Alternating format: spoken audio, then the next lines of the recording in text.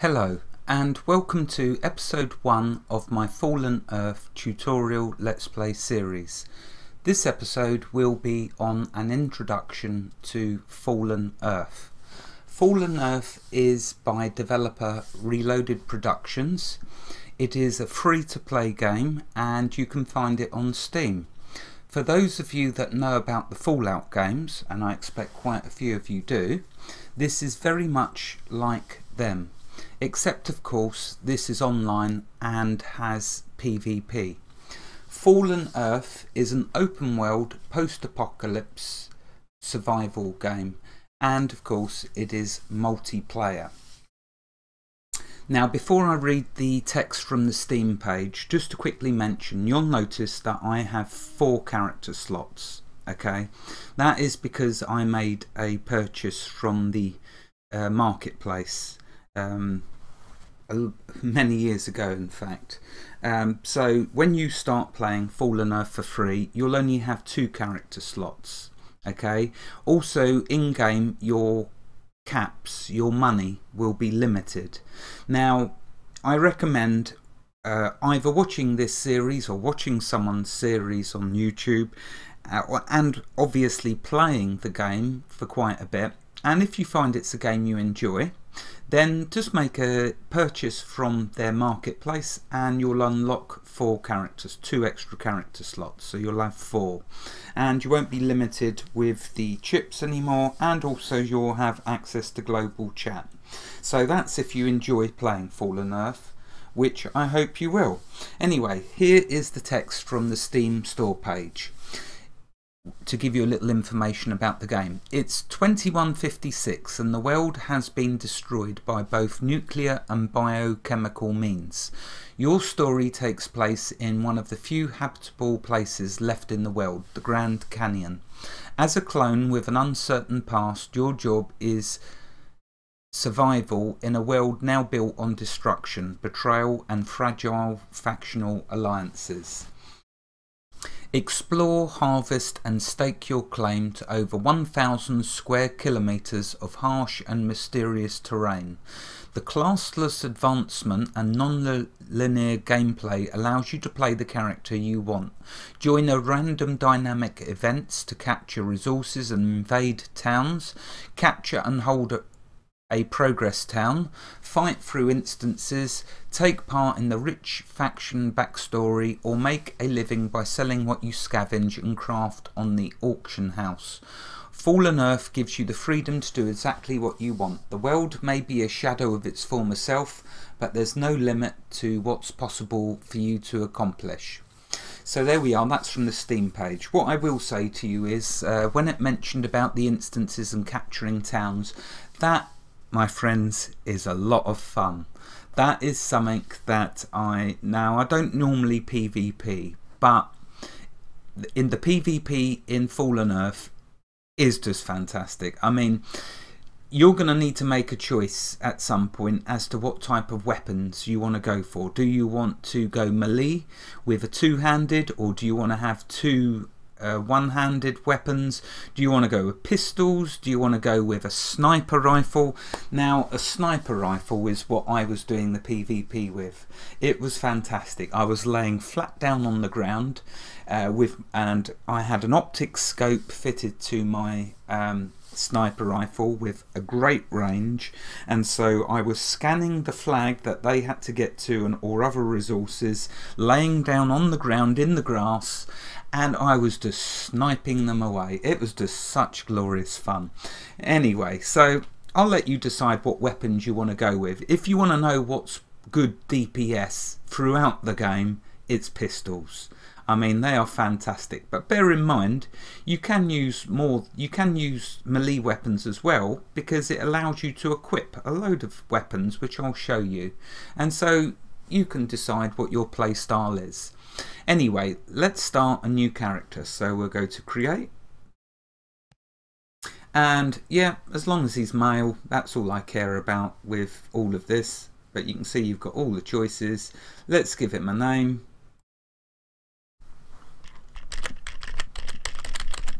See if it allow me that.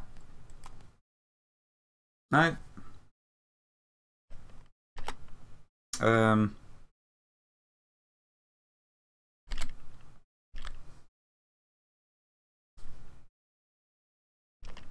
there you go. There you go, so we got a name. Bit long actually. I like you'll notice I like to keep the names short actually because in um, Fallen Earth the best way of getting materials around, you know, like resources for crafting is to mail them to to your characters. And so Mind you, you can add someone to your friends list, then they'll automatically appear in the mailing list, so it doesn't matter so much. Anyway, there we are, we've got a name, we've got a character, let's play.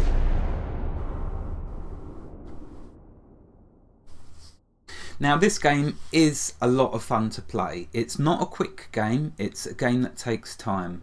So you will see that I will take my time through the progress of the game. And whilst I have fun this series will continue. So let's minimize the chat, we don't want to get distracted. And you can see it starts off by telling you the movement keys. So W move forwards. Um, S move back, you can strafe left with A, strafe right with D, space to jump, to, and let's see, what else does it say here? So yeah, the right mouse button allows you to look around and if you hold down the left mouse button, you can walk. So that's my preferred method. Okay, so as you can see, it's giving us quests. So first quest is escape from the Hoover Dam goal just completed so I had to move into this room. Now it's telling me to press the middle mouse button or tab to enter aim mode. Now this is something important to get used to. So you can either press the middle mouse button to bring up the target reticule or you can press the tab key. I usually use the tab key because it's much easier. Okay, so we're going to go over here to this and you'll see that the cursor changes when you hover over it. So let's click on this.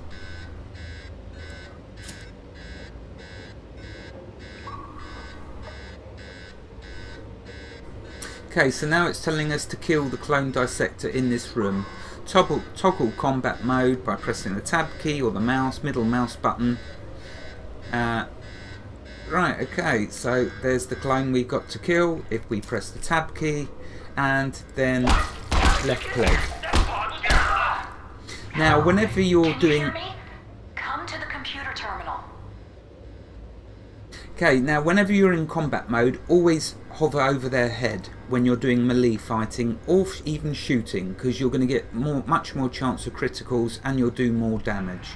When you kill something, move the cursor over the corpse, you'll see the icon changes, left click and it allows you to loot and take all. You can see we got a bit of armor there, but I'll show that in a moment. Okay, so now it's saying that voice you just heard told us to come over here and activate this computer terminal. Again, just single left click on it. We don't have much time, so I need you to listen to me. On the next computer, there's a region pod control terminal. Activate it. So now we can track the mission. Tracked missions will go over here as you can see. So I will track this mission. There is a limit to how many you can track and you will see that limit soon enough. So let's accept. Okay, so now what we need to do is activate this computer. So left click. Likeness protocol activated.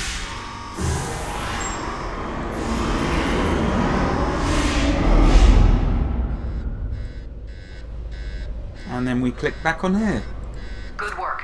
That'll keep the cloning cycle going. Now, I need you to come get me. I'm on the other side of the Hoover Dam. There's a battle going on, but I'll try to get you through it. I hacked my workstation to get access to the dam's security cameras and door controls. I'll guide you from the cloning chamber to where I am using the radio in your clone collar. Now, head down the steps and through the hall. Don't worry, I'll put you on a safe path. Well, the safest anyway. So we'll accept that quest. Citizens, we are on lockdown.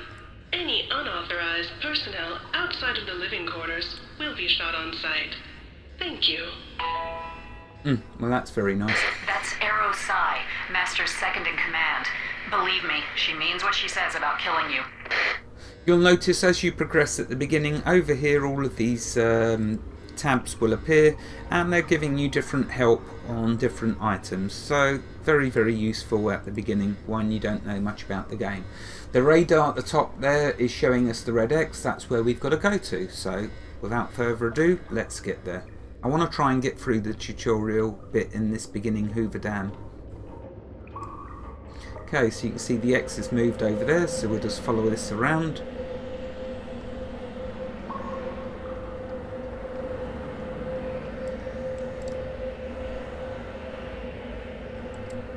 You need to find a weapon. Ugh.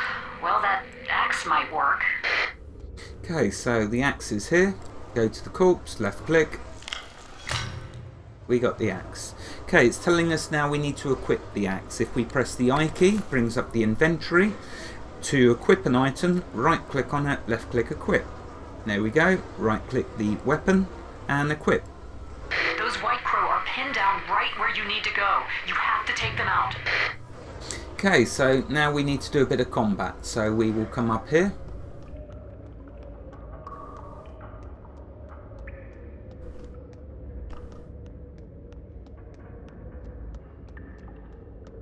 Hey, over here! Before the guards spot you. They're still making clones, huh? I hope you're not itchy. I'm out of ammo, but those mercenaries up there don't know that. Okay, so I'll just say got it. Alright, so we got to go and attack these mercenaries. Remember, press the tab key to bring up the reticle, and then left click. Try to do it on the head.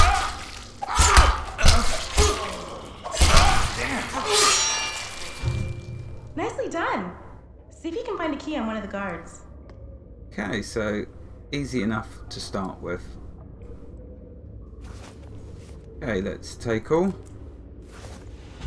Go through the door and down the hall. There's one of Master's men standing guard in the next room.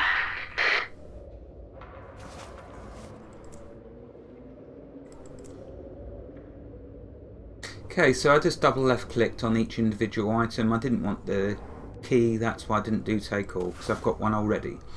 Right, okay, so if um, if I bring up the character window, which let's see if I can remember which one it was. If in doubt, if you're unsure though, down here you'll see it says pack for bringing up your inventory, missions for bringing up the missions window, which you can also press the J key to bring up, and gear, ah it's the G key. So if you press the G key, this shows you all the equipment slots. Now you'll notice I've just picked up these weapons. So at the moment I'm using a two-handed weapon. What we can do is click the weapons tab in the middle and right click on the two pipes. I prefer to use them. Equip and equip. Notice it hasn't unequipped my axe. It uh, has just used them in these slots. And to switch weapons, what I can do here, okay, so let's close that. If I now press Control 3 and Control 4, you see that I have my lead pipes equipped. If I press Control 1, it switches me back to my axe. So it's a lovely way of easy, easily accessing different weapons very quickly. Anyway, let's go fight the next one.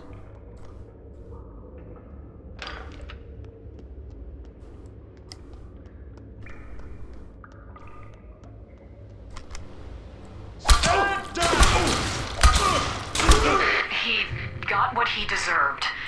Now, before you leave, try to find a rifle on one of the corpses in here. I wouldn't want you to bring an axe to a gunfight. Okay, so here we go. Lots of ammo and a gun. So let's grab that all.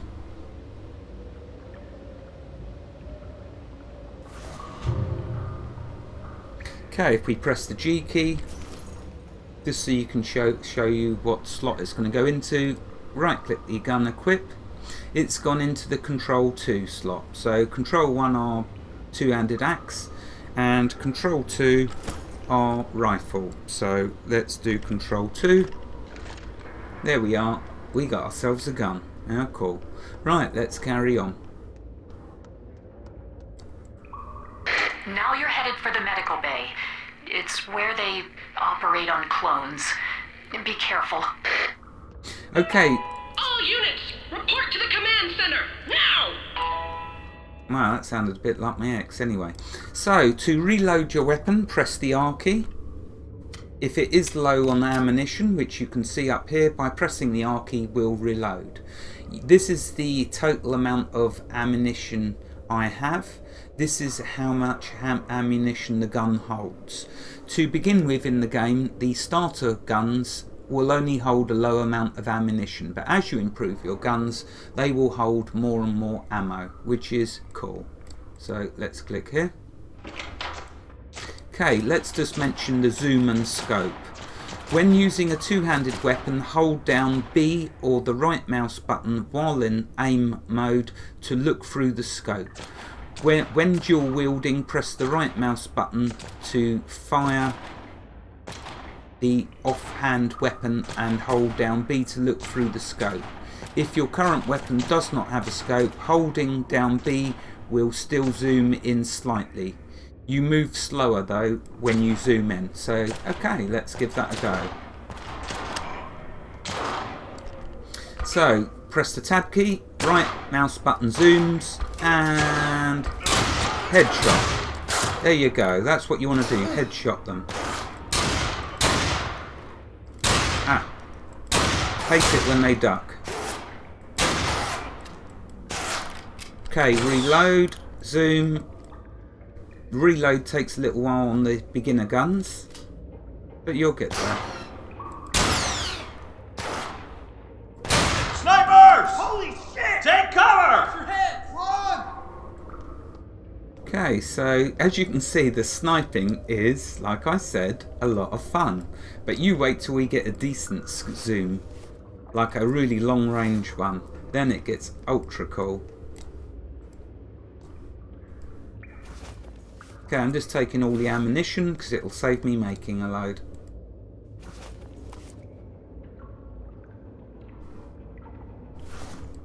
Okay, so let's continue on.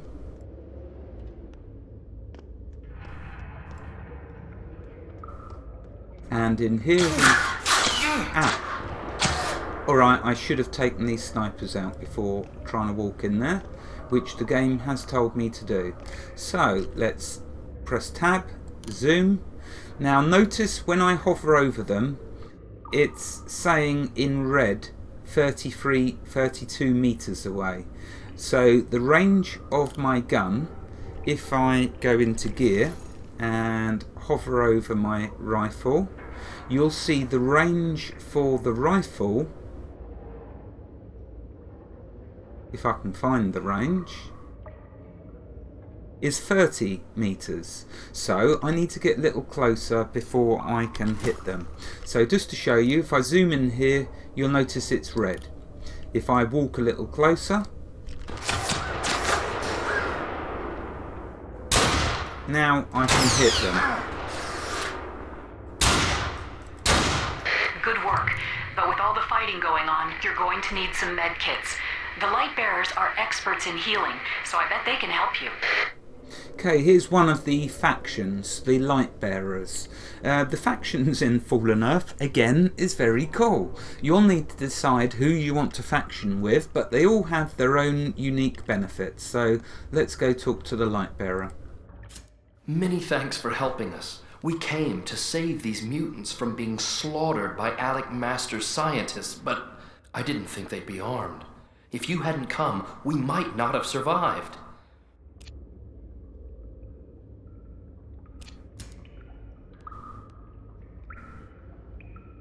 Okay, so let's accept the quest. Bastards will be avenged! But Shota and their allies will pay! Kill them! Kill them! That's definitely my ex. Right, okay, head to the next room. So, even though you see that icon above the head, I've already been given the quest from them. So, just pretty much ignore that once you've. It just hasn't updated, so that's okay. If I click again, you'll Many see. thanks for helping that us. there isn't We another quest. So, we'll continue here. to where the red X is. And continue on. Don't shoot! I need your help! Okay, These guys look like enforcers. I think you can trust them. okay, enforcers are another faction, so you decide whether you want to align with them. But anyway, for now, let's talk to him. Do you have any medkits? The white.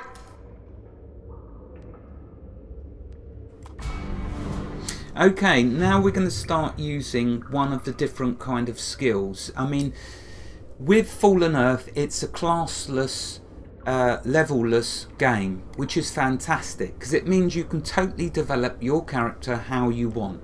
Now, in other games like um, with EverQuest, you remember there's spells as well as melee. Well, the version of spells is done through skills like this. So here we have a healing. Um, skill.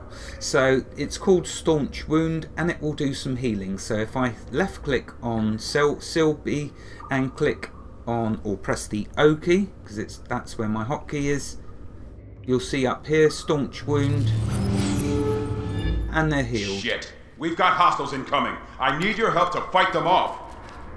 Oh, I better reload.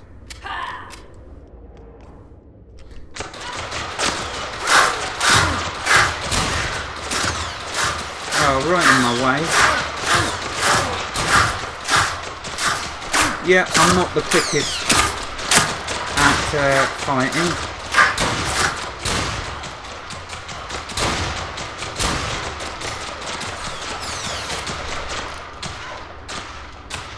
Oh, here. There we go. No, I'm certainly not the quickest. I've got a bit rusty. It's been a while since I've played Fallen Earth. A year or two, in fact. Which is why I thought it'd be nice to do a series on it.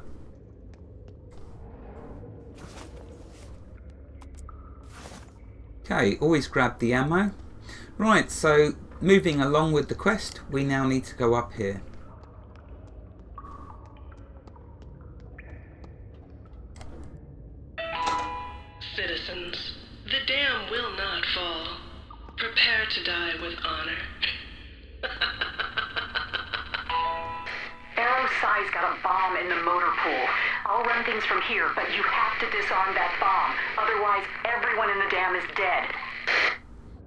Yeah, well, she does sound a bit disturbed. Anyway, so let's go down the stairs and continue on with the progression.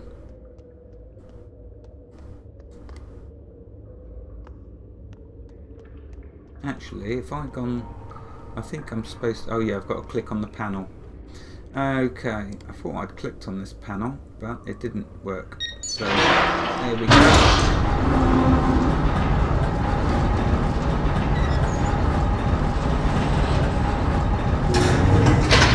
Okay, let's get in the lift.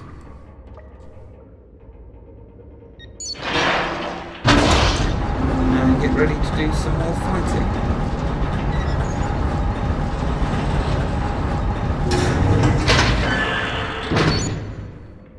Okay, so we'll strafe to the right.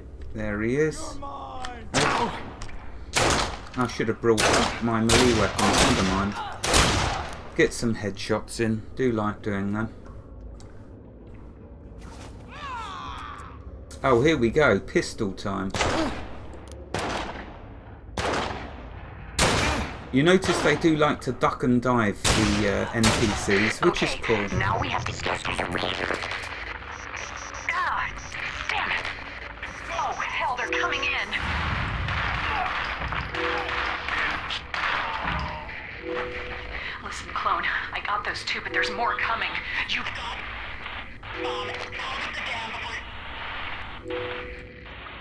You can see the game's giving us a load of knowledge in order to do harvesting of different materials. Let's bring up the G key and equip the pistols, because I do love my pistols. Okay, so we need to do control. I can't actually see what that's gone on to. Control. Let's see. So we use 3 and 4. That must be 5 and 6. So let's give it a go. Control 5 and Control 6. Yeah, there we go. There's our pistols. That is my personal preferred form of combat, is the pistols. But again, you choose whatever you want. I'm not saying pistols are the best. I guess the gamers, they, the developers have balanced all the weapons out. It's just for close combat, pistols do real good damage. As you're going to see as we progress. Okay, so we're carrying on with the quest. We got to find a guy in here. There he is. Let's go talk to him. Hey! Over here! Cool, I'm still getting knowledge. Oh yeah, see my bars filled up down here with all the different skills you can use. Once you get to level 15 though, all of these will become, um, well some of them will not be effective anymore. You see training abilities go away at level 15. So all these training abilities I'll lose at level 15. But that's okay because by then you'll know whether you want to use uh, develop these abilities or not. But we'll take a look at them in perhaps a bit later. Let's talk to this guy. Never thought I'd be happy to see a clone. Maybe you can help me out. Turns out there's a bomb in the next room.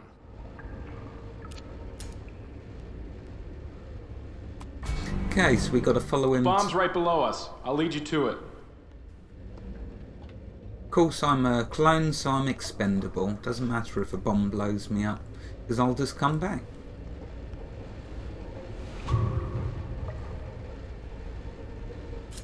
The bomb's right there in the ATV.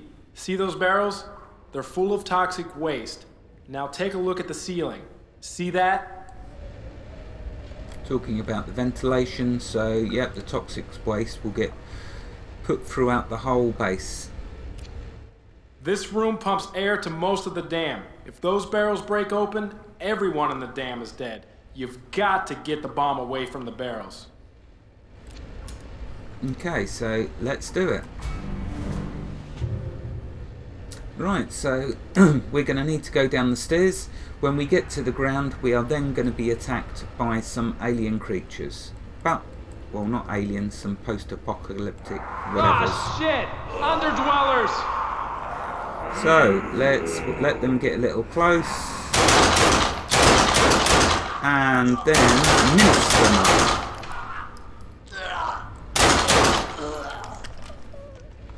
Yep, they'll get a few hits in while I'm reloading. But not many. Good job. Now get on that ATV and drive it into the vault. Have fun. Okay, I normally reload just before looting, because that way you're doing something else whilst it's just reloading. Saves time as you can you'll see. Okay, I'm grabbing these uh, items because they will prove useful later on. Okay. Right, now to ride the ATV, you simply left click on it. And there we are, we're on our ATV. Now let's go ride this bomb to somewhere else. Right mouse button will steer you. And I know I'm not the best. In fact, I'm pretty poor, but never mind. You're used to my uh, incompetency.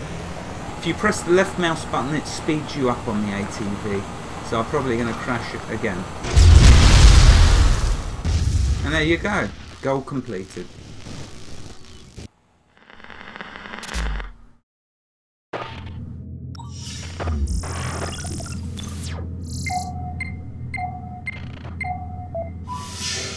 Welcome to LifeNet, a product of Global Tech. If you're seeing this, you are dead. But don't worry, with LifeNet, death is just a minor setback. You may be feeling confused, disoriented, or even a little scared. It's understandable. You just had your vigorous, happy life interrupted by. Explosion! Please, accept our condolences. But no more dwelling on the past. Right now, LifeNet is reconstructing your body. Thanks to our patent, physical fitness will. The magic of rebirth happens inside LifeNet's patented regeneration pod and statistically with finest refined and your perfectly cloned body comes out.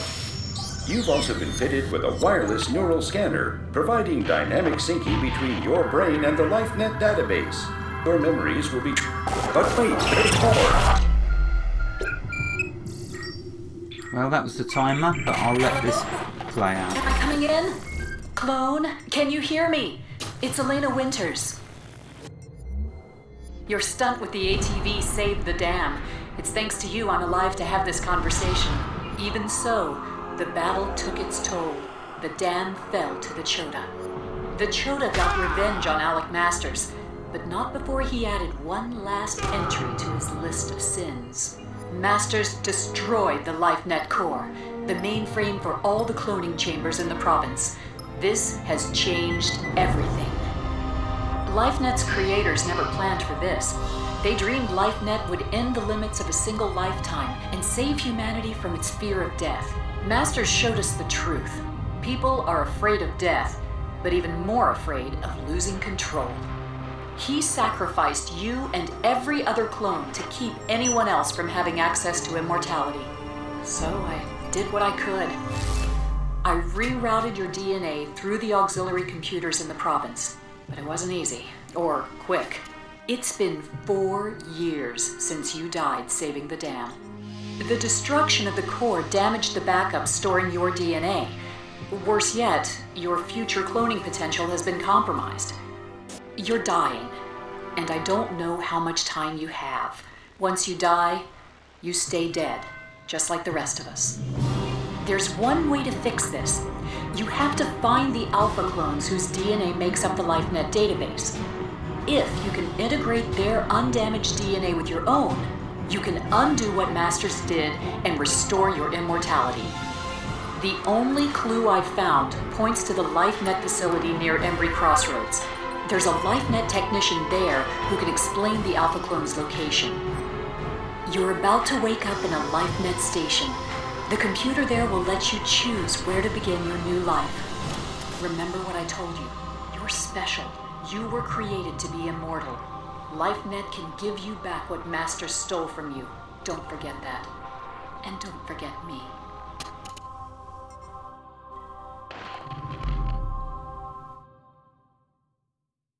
So there we are, a lovely, lovely introduction to the game.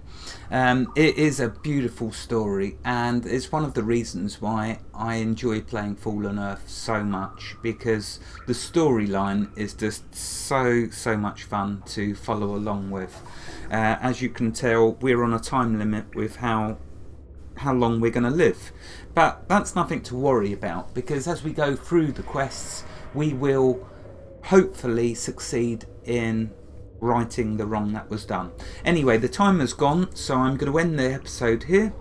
And in the next episode, we can actually start off in the first town that we're going to choose. Wherever you are in the world, God bless you and keep every last one of you safe. Thank you for watching and have a fantastic day. I hope you enjoyed this introduction to Fallen Earth. Goodbye.